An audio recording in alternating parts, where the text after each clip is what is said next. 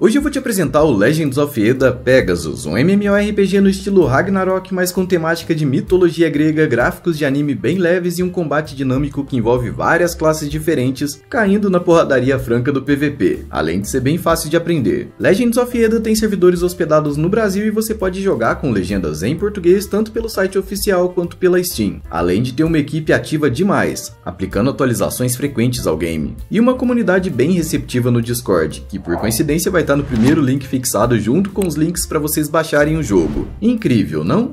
Uau! Eu já falei que é grátis? Não, né? Mas é. Fora isso, tem o sistema de montarias e até um roadmap de atualizações futuras, o que mostra que estão empenhados em trazer o jogo de volta à vida a todo vapor.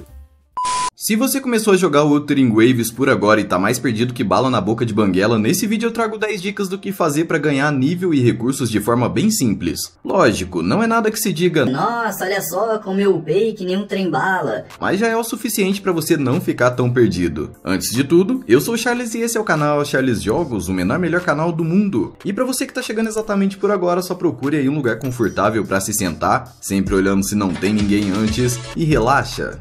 Legal, a primeira dica é completar os desafios. Lá no menu do jogo você vai ter os trophies, né, que são conquistas que você vai fazendo conforme você upa sua conta. Se você quiser um guia, tiver muito perdido e não souber o que fazer, simplesmente vá até essas conquistas e você vai conseguir ganhar aí as suas gemas, né, para trocar nas orbes para você abrir o gacha depois no jogo ou trocar por outras coisas se você quiser também. Tem altos itens de utilidade lá para upar personagem, armas e geralmente são ações bem simples. Você pode simplesmente ir lá, ler, por exemplo, derrotar 10 inimigos inimigos, desbloquear torres da diversidade, seguir com o modo história. Então, assim, tem bastante coisa para fazer, são missões simplistas que você pode ir fazendo, completando conforme você joga, ou você pode focar nelas se você quiser, para você ganhar aí alguns recursos adicionais no jogo.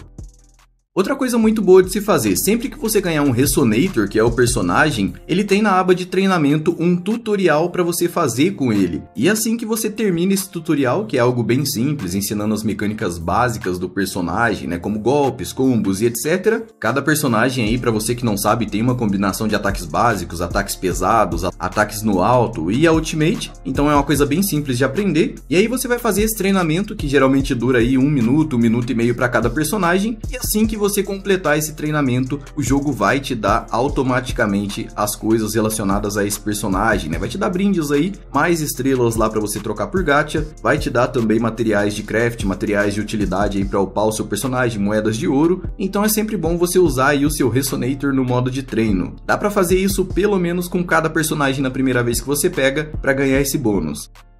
Summons do jogo são uma mecânica muito interessante, né? São meio que petzinhos que você se transforma neles, eles, cada um deles tem uma habilidade, então você usa ali a habilidade do seu summon e aí você comba isso com a habilidade do seu personagem geralmente os resultados são muito bons. Cada vez que você pega um summon, ele tem ali também o seu elemento, então você pode equipar basicamente esse summon combinando com o elemento do seu personagem ou simplesmente complementar as fraquezas do seu personagem com um summon diferente. Dá para você deixar ele mais tanque, mais ofensivo, dá para deixar ele como um suporte também, e você pode equipar até 5 summons por personagem, o que também vai conceder bônus passivos para os personagens com base nos elementos que esse summon tem.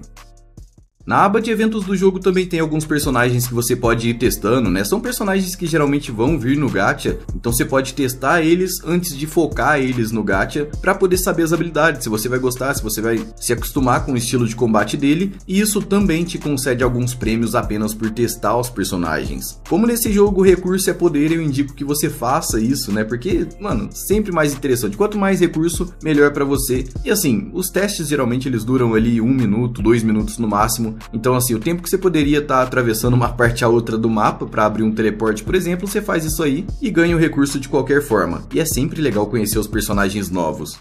Como todo bom gacha que se preze, o Wuthering Waves também tem códigos válidos aí para resgatar alguns prêmios, né, alguns brindes que o jogo dá. Por enquanto eu só encontrei esse aqui, que é um código permanente, digamos assim, né, o Wuthering Gift, tá aí na tela para vocês. E com ele vocês podem resgatar gemas, podem resgatar material para upar o personagem, podem resgatar moedas e também itens de craft. Sempre interessante, como eu disse, todo item é muito bem-vindo, então aproveitem bastante esse código aí, indiquem para os amigos também. Já dizia vovó, de graça até drink de chumbo. Ah não, aí não. Como esse aqui é um jogo de exploração e ele te recompensa bastante por explorar, por descobrir novos locais, por descobrir novos eventos, eu indico sinceramente que você faça todos eles. Viu um evento no mapa? Vai lá e faz. Obviamente, se tiver fora do seu alcance, né, se tiver fora do seu nível, se tiver sem energia diária, você vai pular isso, mas no geral, todo evento que você encontrar, seja esse de eliminar criaturas para poder pegar os portaizinhos aí, seja outros de monstros épicos, ou seja qualquer coisa que você encontrar no mapa, velho, só faz. Você tá aqui nesse jogo para farmar, para ganhar nível, para ganhar material de experiência, então faz. Faz porque você vai ganhar também as invocações, né, os summons lá, os bichinhos para você invocar e usar para você. E quanto mais, melhor. Recurso é a chave desse jogo. Gravem isso, cara. Recurso é a chave desse jogo. A parte divertida é que tem alguns puzzles também que você pode ir fazendo, né? Você pode completar os puzzles aí pelos mapas. Então, para quem gosta aí de quebrar a cabeça um pouquinho, não é nada tão complexo assim. Para quem gosta de quebrar a cabeça ao menos um pouquinho, acho que vai ser uma experiência bem divertida. Fora os desafios, esse desafio do Baiacu em específico me tirou muito do sério, velho. É muito engraçado isso aí. E o jogo tem várias dessas paradas, fora desafio de pulo e etc. Façam, viu? Vê evento no mapa faz, só faz. Pega de ser preguiçoso, rapaz.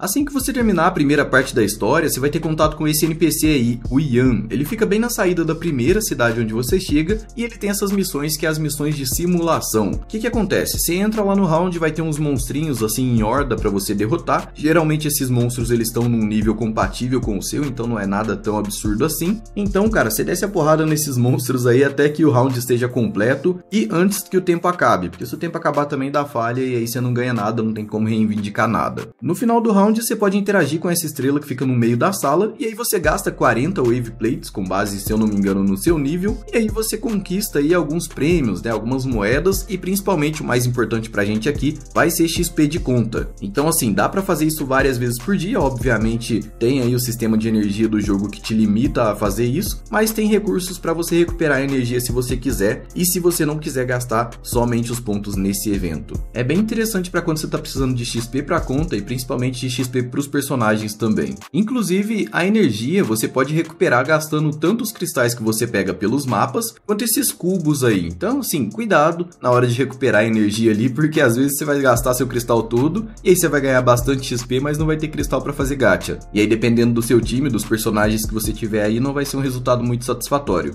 Como eu disse, explorar os mapas é sempre algo bem interessante nesse jogo aqui, e você vai encontrar algumas coisas que chamam Parallel Perceptions, que são algumas dungeons, digamos assim, que ficam sempre em cantinhos mais escondidos do mapa, e neles você tem um desafio por tempo, são desafios variados, digamos assim. Esse aqui, por exemplo, era um desafio de pulo bem interessante, que você tinha um tempo para pular todos os obstáculos, me lembrou bastante aqueles jogos no tipo Ori, aqueles jogos mais antigos assim de beat'em up, só que não tem nenhum inimigo para você derrotar não. Geralmente são desafios de salto, desafios de habilidade mesmo, e quanto menor o tempo, mais as chances de você ganhar itens bons. No final desse percurso tem um baú, na verdade, geralmente tem três baús com base na sua classificação de tempo, e aí você pode pegar eles totalmente gratuito. E é aquilo, novamente o que a gente recebe são as estrelas, recebe Union XP, que é o nível da conta, né, o nível do mundo do jogo, mais a moeda do jogo que você usa para várias coisas e alguns itens de upar o personagem, upar suas armas, então é sempre interessante fazer.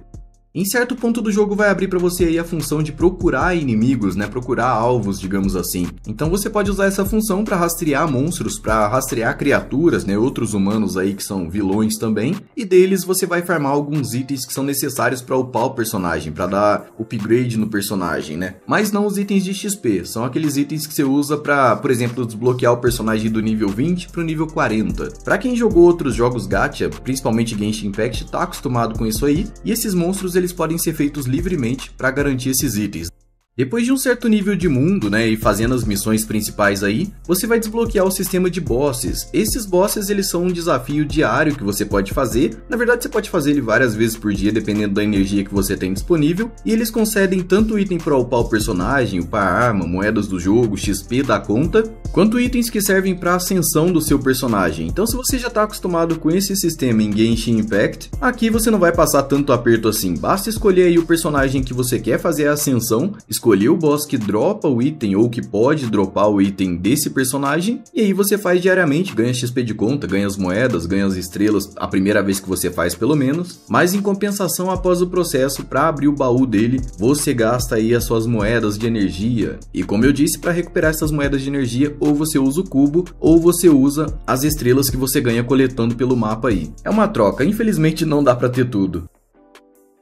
E aí, tão curtindo Wuthering Waves? Esse é um RPG bem legal, tô usando ele pra ir, quando eu tenho um tempo livre, eu vou lá e jogo um pouquinho, sem aquela pressão de ter que ficar competindo ou ter a conta muito mais forte, etc. É um jogo que tá bem legal, eu gosto bastante do combate dele, né? O combate dele lá no Punishing Greyhaven, pra mim já era um dos melhores combates assim, em questão de action nesses jogos de anime. E aqui, em especial, ele tá sendo bem interessante também, essa mecânica dos summons aí enriquece bastante o combate. E se você gostou desse vídeo, deixa aí, cara, nos comentários comentários se você tá jogando, qual o seu time já pegou algum personagem 5 estrelas, deixa aí nos comentários e eu vou ficar bem feliz de saber. No mais, eu vou ficando por aqui, agradeço demais a presença de cada um de vocês até essa parte do vídeo. Se puderem e quiserem ajudar o canal de alguma forma, já sabem, né? Like, dislike, comentário, compartilhamento ou até receita de bolo. Tudo isso faz com que o YouTube divulgue o conteúdo para muito mais gente e isso me ajuda demais. Nos vemos na próxima, valeu, falou, é nóis!